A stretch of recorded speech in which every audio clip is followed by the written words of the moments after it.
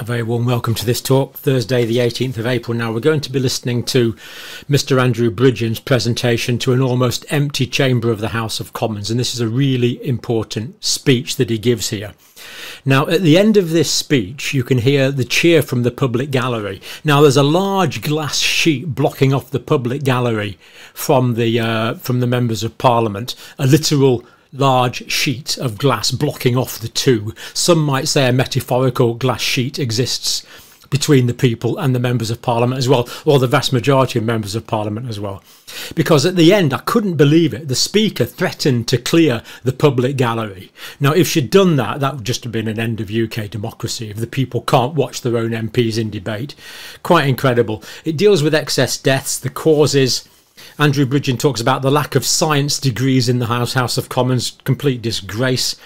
Doctors obeying guidelines, just doing what they were told. This has been used as an excuse in the past in various other situations. Lack of good science. The Australians have an inquiry into excess deaths. We don't seem to be bothering. The the the Part 4 therapeutics module of the public COVID inquiry has been kicked into the long grass. Evidence has been ignored, according to Mr. Bridgen. Cancers might be becoming more common due to SV40 DNA inclusions in vaccines. Genuinely concerns ignored, gaslit, data deliberately hidden with impunity record level data not available to the public and to the scientific investigators, but apparently available to the pharmaceutical industry. Excess deaths were 5% in 2023. And that, that, that's consistent with other countries where they're even higher, even though the system has now been changed. Some might say fiddled. DNRs, do not resuscitate orders, were overused. Ends of life medications were given. It's just a litany of, of, of appalling things. Over to Mr. Bridgen now. In my view, hero of the people. Thank goodness someone's speaking out. We now come to the backbench motion on the COVID 19 pandemic response and trends in excess deaths. Uh, Andrew Bridgen to move. Thank you, Madam Deputy Speaker, and I beg to move the motion in my name on the order paper.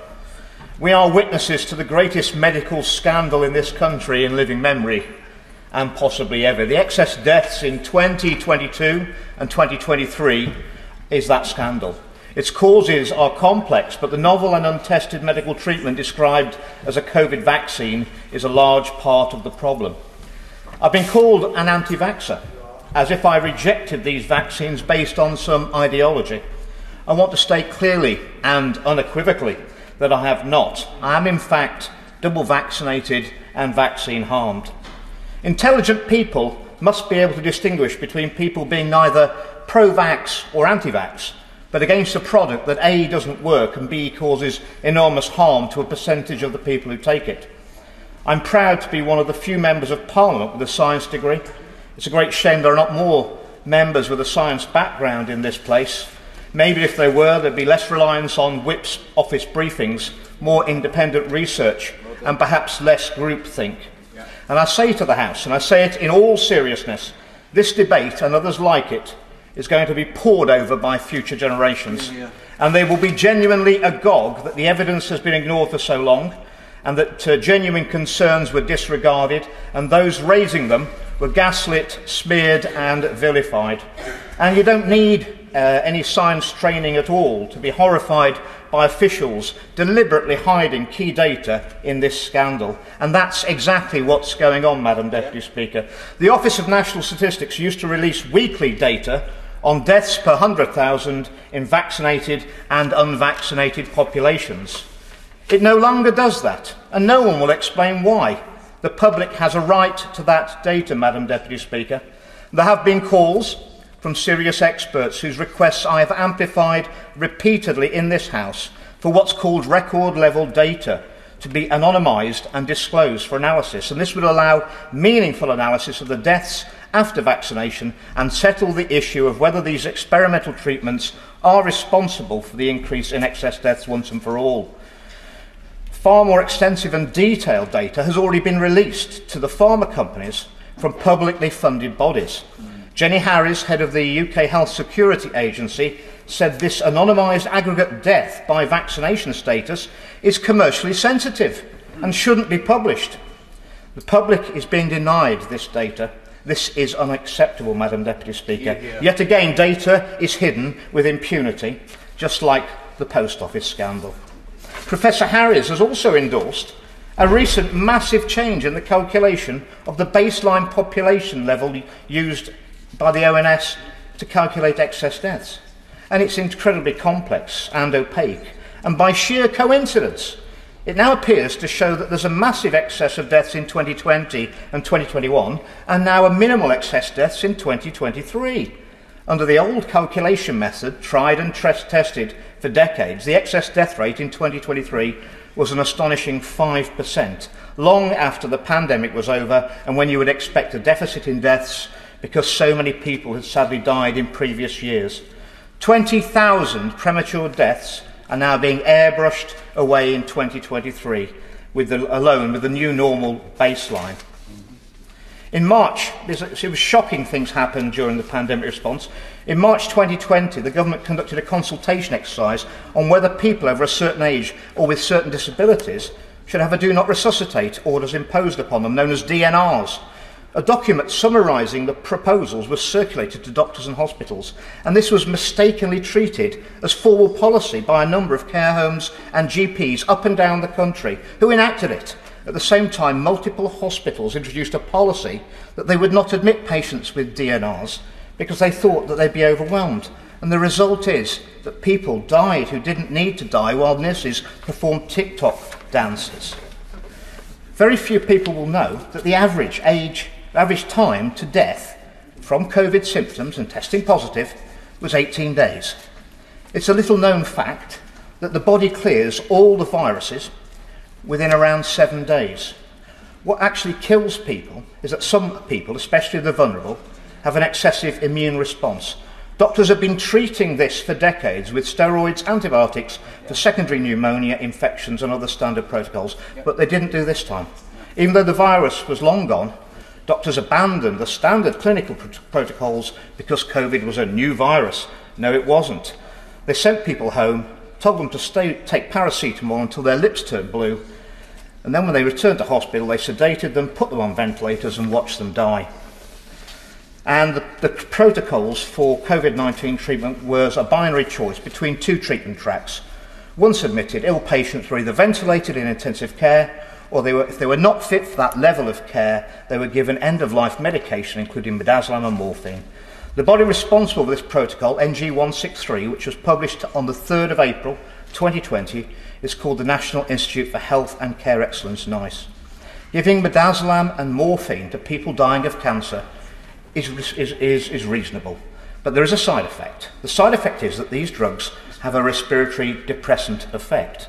It's hard to imagine, Madam Deputy Speaker, a more stupid thing to do than, than, than to give a respiratory suppressant to somebody struggling to breathe already with symptoms of COVID-19. But that is exactly what we did. So can the Minister explain why midazolam was then removed from the same updated guideline, NG191, which is the, uh, the, the antecedent of NG163, on the 30th of November 2023? As it was removed, is it now considered and admitted that it was a mistake to ignore the warnings uh, of so many experts and including that specific drug midazolam in NG 163 when it was introduced? And it's been confirmed in letters from ministers to families who lost loved ones down to this protocol that doctors are, that ministers are now saying that doctors and nurses should have treated the individual patient with their own knowledge rather than strictly following NICE guideline NG 163. And if legal cases are brought for unlawful killing, can the Minister tell us who's going to be taking the blame? Will it be NICE? Will it be NHS England? Or will it be the individual doctors and nurses who will be held to account? And interestingly, Madam Deputy Speaker, NICE has now removed these alternative protocols, including NG 163, from their website, although every other historic uh, protocol are still there for historical reference. But the Minister tell us why NICE have removed this protocol from their website. Are they ashamed of the harm that they caused? They certainly should be. And what can we learn from this? We learn that very few doctors dare challenge what they're told. Protocols with no authors are distributed and doctors fall in line. There's a huge stark contrast in how deaths and illnesses after vaccination have been recorded compared to after COVID. After a positive COVID test, any illness and any death was attributed to the virus. After the experimental and emergency use vaccine was administered, no subsequent illness and no death was ever attributed to the vaccine. These are both completely unscientific approaches, and that's why we have to look at other sources of data, excess deaths, to determine if there is an issue. But first of all, I want to address safe and effective. The fear deliberately stoked up by the government promoted the idea of being rescued by a saviour vaccine – The chanting of the safe and effective narrative began. The phrase seemed to hypnotise the whole nation. Madam Deputy Speaker, safe and effective was the sales slogan of thalidomide. And after that scandal, rules were put in place to prevent such marketing in future by pharma companies. And they're prohibited from using safe and effective without significant caveats. But that didn't matter this time. Because with COVID 19 vaccines, the media, the government, and other authorities turned into big farmers' marketing department. And it's very hard now to hear the word safe without the echo of the word effect and effective. But they're not safe and effective. In March 2021, when the major majority of UK citizens had already received these novel products, Pfizer signed a contract with Brazil and South Africa, in which the contract says the long term effects and efficacy of the vaccine are not currently known and adverse events from the vaccine are not currently known. That's verbatim from the Pfizer contracts. So these so called vaccines, well, they were the least effective vaccines ever. Is there anyone left under any illusion that they prevented any infections? When he was at the dispatch box on the 31st of January at PMQs, followed my question, the, the, even the Prime Minister could not bring himself to add and effective to his safe mantra uh, when he said that, the, uh, in his own words, the vaccines were unequivocally safe. Madam Deputy Speaker, safe means uh, without risk of death or injury. Why is the Prime Minister gaslighting the 163 successful claims made on, into the vaccine damage payment scheme, totaling 19.5 million in compensation for harm caused by the COVID vaccines? Haven't these people suffered enough already? Those 163 victims are the tip of the iceberg, though, by the way. And it should be noted that the maximum payment is only £120,000. So each of these 163 victims got the maximum award possible, and that should tell you something. That same compensation scheme paid out a total of only 3.5 million between 1997 and 2005, with an average of only eight claims per year, and that's for all claims for the entire country for all vaccines administered. So much for safe. And how about effective? Even by the 25th of October 2021, the former Prime Minister and member for Uxbridge and South for Islip, Boris Johnson, even admitted, and again I quote, it doesn't protect you against catching the disease and it doesn't protect you against passing it on. Looking at the levels of the virus found in sewage shows that the post-vaccine wave was the same order of magnitude and duration as the previous waves. This proves that the vaccines changed nothing. They were not safe and they were not effective. Those who imposed these vaccines knew full well that they could never prevent infections from a disease of this kind. An injection in the arm can't do that. Only immunity on the surface of the airways and the lungs can prevent viral infection. Antibodies in the blood cannot.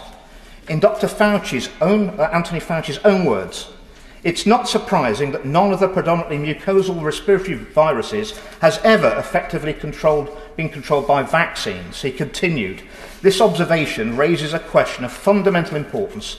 If natural mucosal respiratory virus infections do not elicit complete and long-term protective immunity against reinfection, How can we expect vaccines, especially systemically administered, non-replicating vaccines to do so?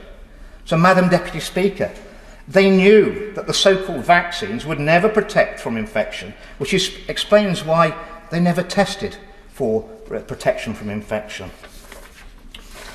Madam Deputy Speaker, only a few days ago, the ABPI, the Association of the British Pharmaceutical Industry, wrapped Pfizer on the knuckles for the sixth time and said their marketing practices had brought the industry into disrepute. They were asked to pay a paltry £30,000 in administrative expenses with no fine on top. Madam Deputy Speaker, the person heading the ABPI at the moment is also the head of Pfizer UK. The MHRA have a statutory duty to carry out this, this work and has handed the responsibility over to the industry itself. Mm. This is an outrageous conflict yeah, yeah. of interest. So let's turn back to excess deaths. In Australia, the Australian government's launched an inquiry into their excess death problem. Um, Australia is almost unique as a case study for excess deaths. They had the vaccine before they had COVID. Their excess deaths are not so easily to be blamed on the long term side effects of a virus, and like us, they saw a rise in deaths that began in May 2021 and has not let up since. The impact was evident on the ambulance service first. South Australia saw a 67% increase in cardiac presentations of 15 to 44 year olds, which peaked in November 2021 before COVID hit. We saw a similar, deeply worrying effect here too. Calls for life threatening emergencies in the UK rose from 2,000 per day to 2,500 per day in May 2021, and it's never returned back to normal. Um, by October 2021, despite it being springtime in Australia, headlines reported on ambulances unable to drop off patients in hospitals that were already at full capacity. Mark McGowan, Premier of Western Australia, said he could not explain the overwhelmed hospitals. Our hospitals are under enormous pressure, he said. This has been something no one's ever seen before. Why it is, it's hard to know. And by April 2022, Yvette Darth, Queensland's Health Minister, said about the most urgent ambulance calls called Code Ones, and I quote, I don't think anyone can explain why we saw a 40% jump in Code Ones. We just had a lot of heart attacks, chest pains, and trouble breathing. Respiratory issues. Sometimes you can't explain why these things happen, but unfortunately they do. Madam Deputy Speaker, I think we can explain why, uh, why this, if we look to the link to the vaccine rollout. Omicron did cause some excess deaths in Australia from 2022 onwards, however, there's a huge chunk of excess deaths prior to that, which doctors have not been able to blame on, on the virus. And, and you know, could this death be caused by the vaccine? Well, very few people even dare to ask that question, Madam Deputy Speaker. And it's important to remember how these vaccines were made. Traditionally, the key to making a vaccine is to ensure that the pathological, the harmful parts of the virus or bacteria are inactivated so the recipient can develop an immune response without the dangers of developing the disease. In stark contrast, these so called COVID vaccines use the most pathological or harmful part of the virus, the spike protein, in its entirety. The harm is systemic because, contrary to what everyone was told, The lipid nanoparticles encapsulating the genetic material spread throughout the whole body after injection, potentially affecting all organs. At the same time, everyone was being reassured by the inject- that the injection was broken down in the arm and the injection site. Regulators ought to have known these were problems. Furthermore, it's now plentifully evident that the drug results in continued spike protein production for many months, even years in some people. The deaths thus far have been predominantly cardiac, But there may be many more deaths to come, unfortunately, Madam Deputy Speaker, from these novel treatments, and that is from uh, inducing extra cancer deaths. Dr Robert Tyndall is the retired Director of Clinical Medical Virology uh, Centre in Brisbane and Emeritus Professor of Immunology. This month, Dr Tyndall published a paper highlighting the multiple potential harms from the vaccines, including harm to the immune system, which, as uh, anyone will know who knows anything about biology, It, anything that disrupts the immune system can potentially increase the risk of cancer. There are many other reasons to be concerned about cancer being induced by these vaccines. Cancer is a genetic disease disorder that arises from errors in the DNA allowing cells to grow uncontrollably. Moderna have multiple patents describing methods for reducing the risk of cancer induction from their mRNA products. This risk comes from the material interrupting the patient's DNA. It turns out that what we were told about the mRNA injection actually uh, has very, actually has very high, high quantities of DNA in it. This massively increases the risks of disturbing a patient's own DNA. Worse still, the DNA that was injected contains sequences that were hidden from the regulator. This is the SV40 or simian virus 40 promoter region, which has been linked to cancer and has been found in the Pfizer vaccines. Yeah. This was no accident, Madam Deputy Speaker. Yet again, crucial information was hidden with absolute impunity from the regulator and from the public. And an independent study in Japan, uh, uh, published last week, has found links between increased cancer rates in Japan and those who took the first and subsequent booster vaccines. Perhaps, Madam Deputy Speaker, that explains why Pfizer acquired a cancer treatment company for a, a reported $43 billion earlier this year. In conclusion, Madam Deputy Speaker, it's, it's clear, the evidence is clear, these vaccines have caused deaths. And despite this, they've been described as safe and effective. Yeah. But for a proportion of the people who took them, the vaccines have caused serious harm and death. And they will have raised the risk of cancer to many, many more. They're neither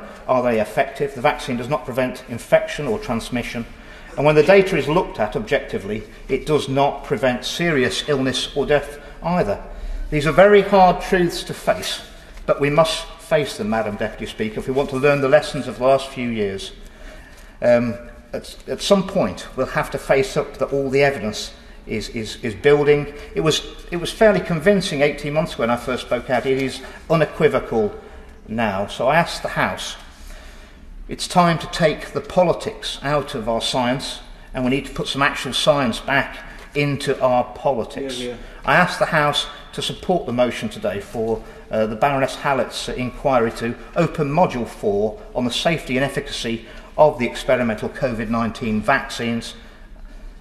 And given the evidence, Madam Deputy Speaker, I call on the Government once again to immediately suspend the use of all mRNA treatments in both yeah, humans yeah. and animals pending the outcome of that inquiry. Yeah, uh, uh, uh. No, no, no, no.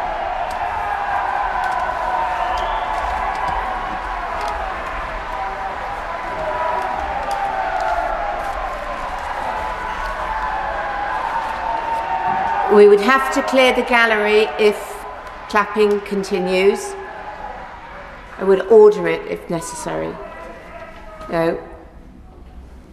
The question is, as on the order paper,